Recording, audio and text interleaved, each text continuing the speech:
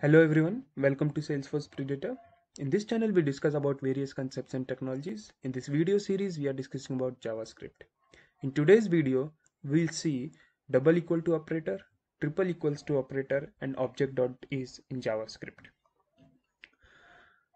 Double equal to operator is used to compare two values. However, while comparison, it does not check the data type of operands. It just check the value. Okay? And it performs the type coercion while comparison of these operands okay? So we have already seen type coercion in one of our previous video. If you have not watched it just watch it before coming to this video okay? So it will be helpful to you. Next we have triple equals to operator. And this is also called as strict equality operator because along with comparing value it also check whether these operands are having same data type or not okay? And only if the value as well as data type matches it will return true otherwise it returns false okay? So it does not perform the coercion while comparing of the operands we are going to see the difference between two okay? So let's go to our vs code. And let's take some examples to understand both. First we'll look into double equal to operator. Okay.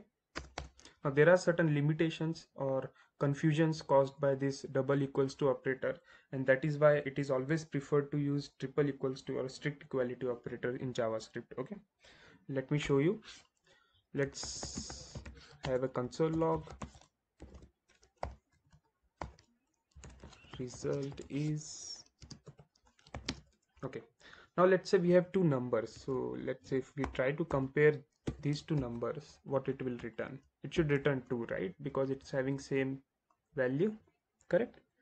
You can see it is returning true. Similarly if we have different values then it should return false right? But what if we are having same value let's say 0 and 0 but here the data type is string for this 0 okay? So that means this is a string in javascript and this is a number okay?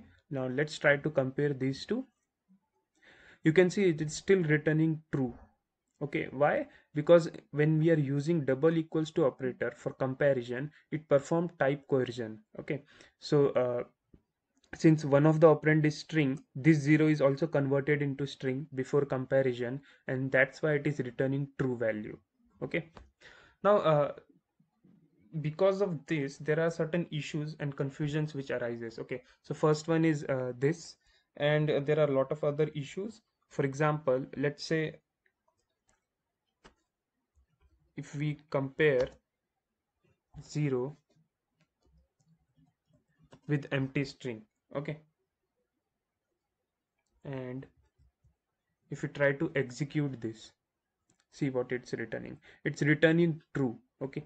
But nowhere it is same. So this zero is like uh, of number data type and this is an empty string in javascript right? Still it is returning true. Uh, in, instead of that if i make it this way then it returns false okay? You can see it is returning false over here. Apart from this let's say we have some values let's say false and false over here okay? Now this is false in string and this is boolean. Now if i try to execute this it is returning false correct? But what if I try to compare this 0 in string with false? Let's see what happens. You can see it is returning true okay? So it, it's creating a confusion over here and it's it, the behavior is becoming quite complicated and unpredictable right? Uh, along with this let's say we have one more example. Let's say we have null okay? And let's say we have undefined. Now let's check what it returns. See it's returning again true okay? So there are certain uh, confusions uh, along with this double equals to operator and hence uh, we always prefer to use triple equal to or strict equality operators in javascript. Okay so let's look into similar examples. console.log result is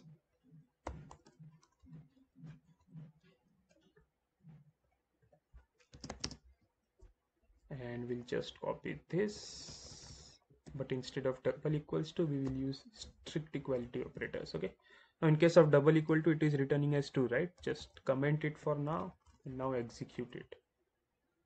You can see it is returning false okay? So it totally avoids the confusion. Now let's say if i'm checking with this 0 and 0 again it will return false right? Uh, if, if I try to compare let's say 0 with false here. You can see it is returning false. Okay so it avoids the confusions and complicated behavior because it does not perform the type coercion internally and uh, it check both whether data type as well as the value of both the operand is matching or not.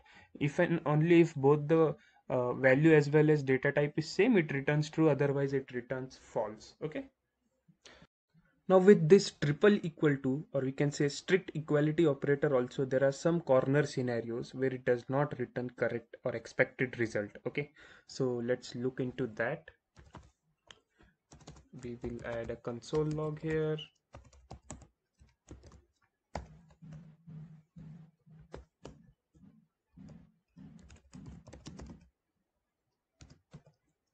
Okay.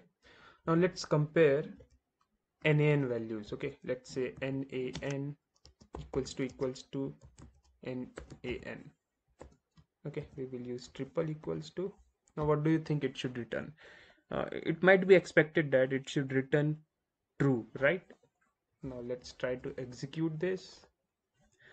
You can see it is returning a false value okay? And expected behavior was true.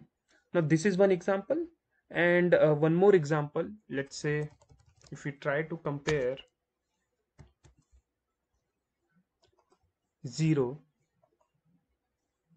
and negative 0 in javascript using triple equal or we can say strict equality operator let's try to execute this.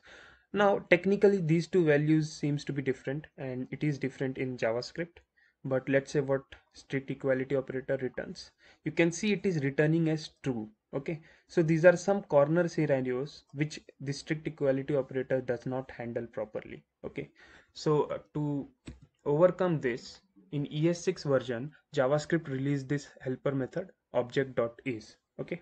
Now object.is overcomes the limitation of strict equality operator okay? In case of object.is NaN and NaN both are same and 0 and negative 0 they are different okay? Rest all the behavior is exactly like similar to strict equality operator only but it uh, does handle these corner scenarios very well okay? So just quickly look into this corner scenario using object.is okay? We'll add a console log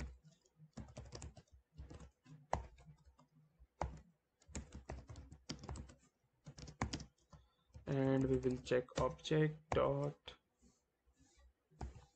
is let's look into NaN comma NaN and execute this. We'll comment this. Let's execute this. You can see it is returning true as expected correct? And let's try for 0 and negative 0 now here expectation would be to return false right? Because they are technically different values. So let's try this. You can see it is returning false okay? So uh, this is all about double equals to strict equality and object dot is operations in javascript. And we have seen what are the limitations and uh, benefits of using each of them. Okay. So if you have any questions you can write it down in the comment section. Thank you for watching this video. Do not forget to subscribe this channel